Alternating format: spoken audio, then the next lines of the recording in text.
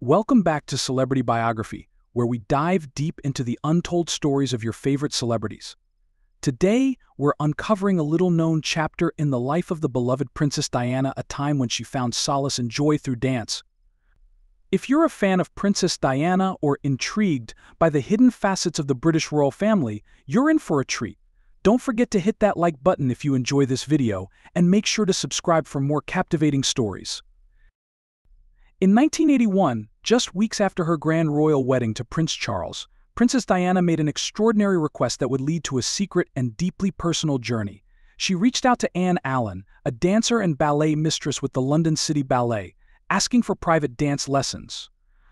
What began as a professional arrangement soon blossomed into a deep and trusting friendship. For the next nine years, in a private studio in London, Diana and Anne met for what would become hundreds of secret one-hour sessions. During this time, Diana was just 20 years old and navigating the overwhelming complexities of royal life.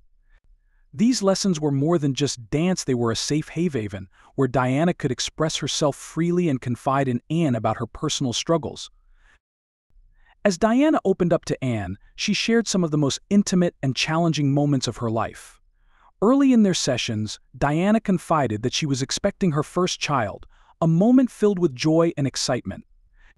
However, this happiness was often overshadowed by the increasing strain in her marriage to Charles and the pressures of her royal duties.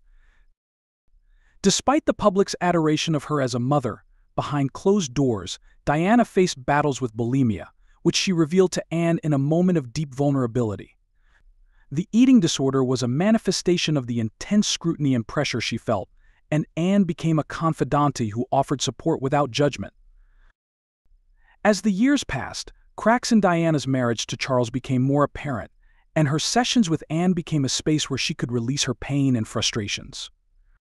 Anne recalls Diana's heartbreak as she grappled with the reality of her husband's infidelity and the emotional toll it took on her. Diana's desire to keep her family together, despite the immense challenges, speaks to her strength and resilience. Even as she faced her own struggles, she remained committed to being a loving mother to her sons, William and Harry. Anne and Diana's professional relationship came to an end in 1989 when Anne moved to Scotland, but the impact of their time together was lasting.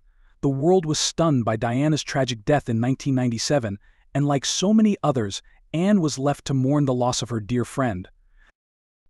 On the day of Diana's funeral, Anne joined millions in mourning the loss of the people's princess. She held a private vigil, surrounded by mementos from their time together, cherishing the memories of the woman she had come to know so well.